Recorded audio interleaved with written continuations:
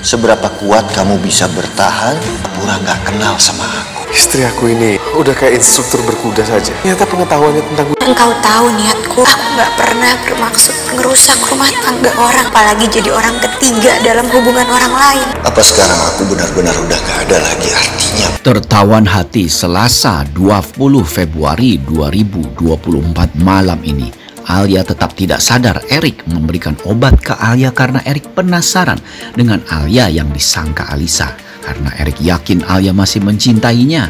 Kamu salah besar Erik.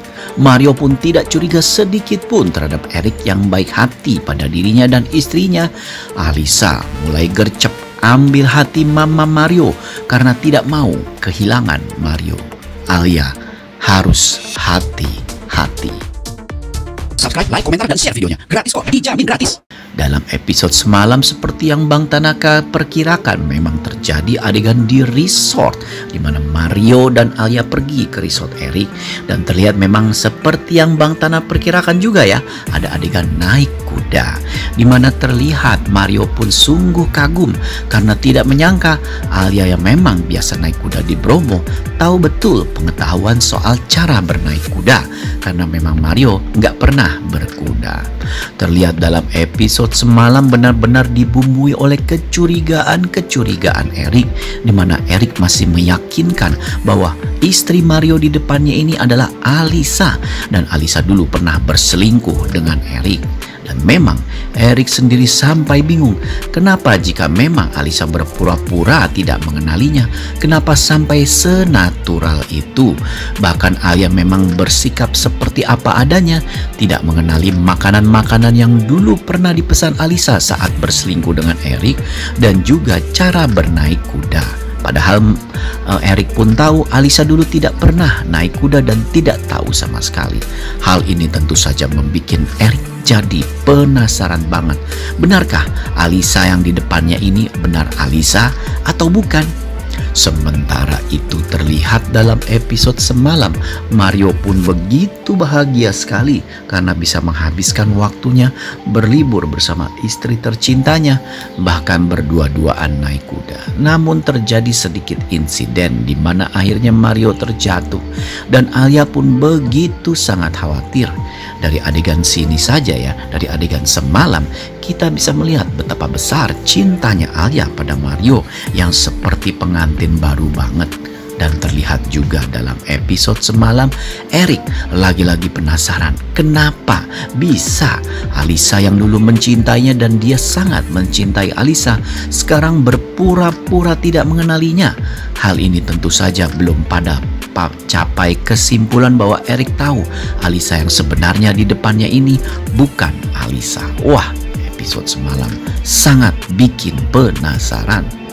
Nah, pada episode malam ini ingat ya, pada episode malam ini dapat dipastikan akan ada adegan lanjutan di mana terlihat dalam episode malam ini Alia pun berhasil ditolong oleh Eric ya karena Mario sendiri kakinya sedang luka.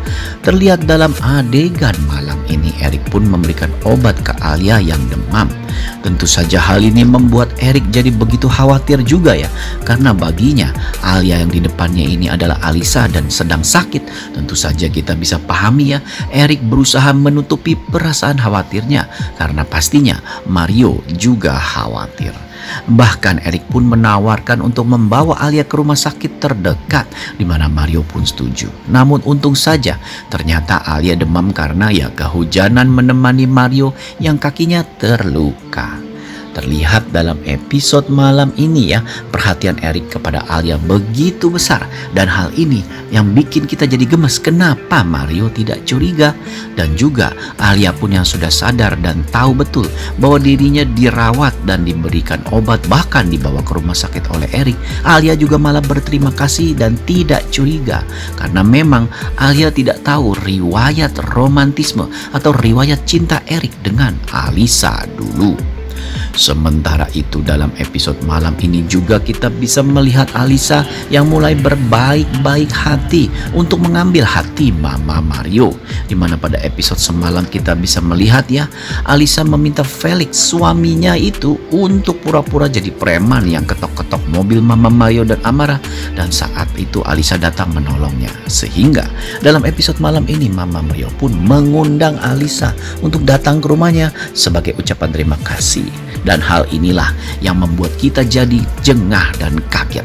Karena saat Mario pulang bersama Alia, Mario kaget sekali melihat ada Alisa di rumahnya. Tentu saja hal ini membuat Mario jadi khawatir dan kaget. Mario pun terlihat geram dan minta Alisa atau yang dia panggil Lia segera pergi dan tidak menemuinya lagi. Tentu saja hal ini membuat Alisa semakin sadar bahwa memang Mario hendak meninggalkannya dan hal itu tidak boleh terjadi karena Alisa selingkuhannya Mario saat ini tidak mau melepaskan Mario dan benci sekali dengan Alia. Alisa memang tidak rela suaminya yang dulu sebelum dia berubah wajah direbut oleh gadis kampung seperti Alia. Terlihat Alia pun juga kaget sekali ya melihat kok ada Alia selingkuhannya Mario di rumahnya. Tapi tentu saja Mama Mario malah memuji-muji Alisa ini sebagai wanita yang baik karena menolongnya.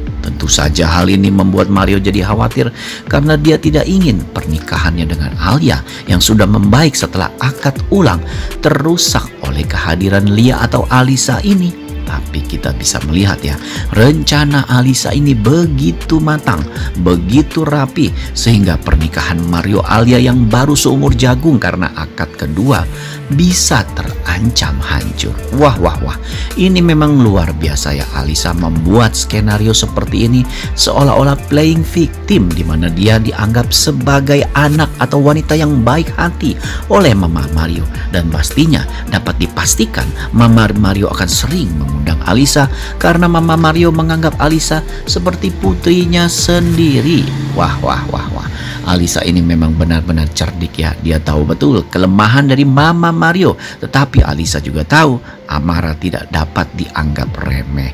Karena Amara ini paling kepo dan selalu saja mengurus rumah tangga orang lain. Padahal rumah tangga Amara dengan Arya juga berantakan.